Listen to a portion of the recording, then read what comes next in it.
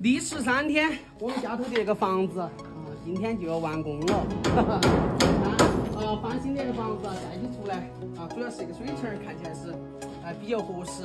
之前的话就是那个水情儿太平了，不得行。啊，前天个接的瓦，昨天码的砖，今天上午啊，我们就已经把那些领棒啊、格子啊全部进行铺好了。下午的话就再找几个人就直接进去。今天一天争取把它完工。对吧？还刷屏的，好听的，嘿嘿。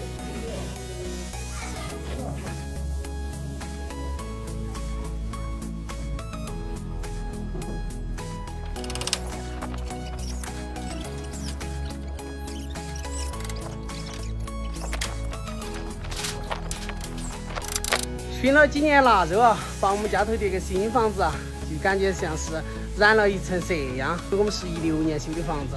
看吧 但是这个样子翻新一下，我觉得也是很有必要。因为我每年熏腊肉的话，都是要重新翻盖一下。其他的话，你说盖成那种新式瓦啊，但是确实没得那种老式瓦透气。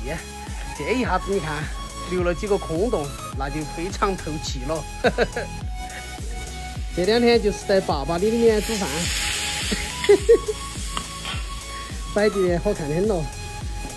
辛苦了，鲁大师。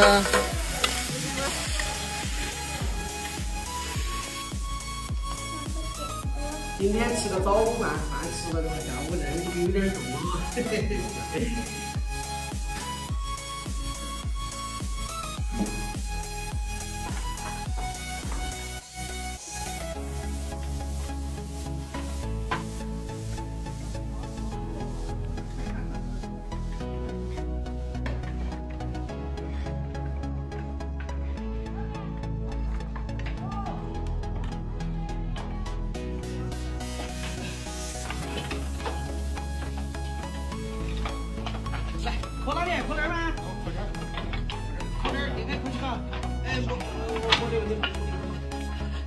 这个盖房子还是要老师傅。你像我们懂一些基础的呀，要不然你喊我盖的话，我肯定是盖不出来的。啊，今天我们这个房子就到天不等天黑呀，就基本上就完工了。说的三天时间，你看，啊，这个房子加高出来，看起好漂亮啊！这就一下子完美了。哎呀！来，搁哪里？搁这儿。哪儿呢？